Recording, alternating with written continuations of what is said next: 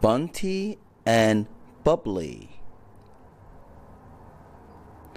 Bunty loves to play with butterflies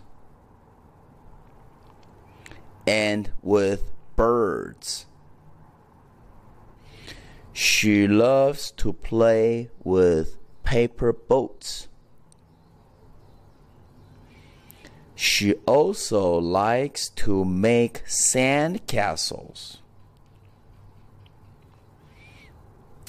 When Bunty goes back home, her mother asks her to clean up, but she refuses.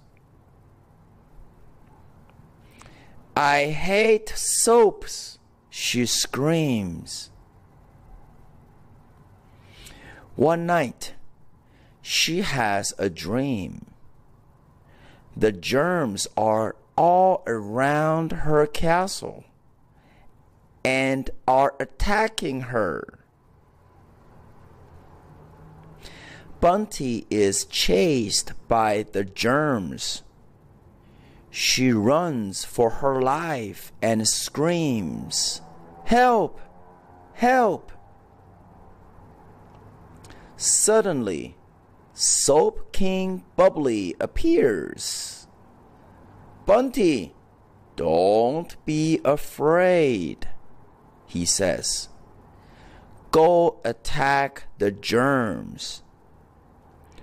The Soap King orders his army of bubbles.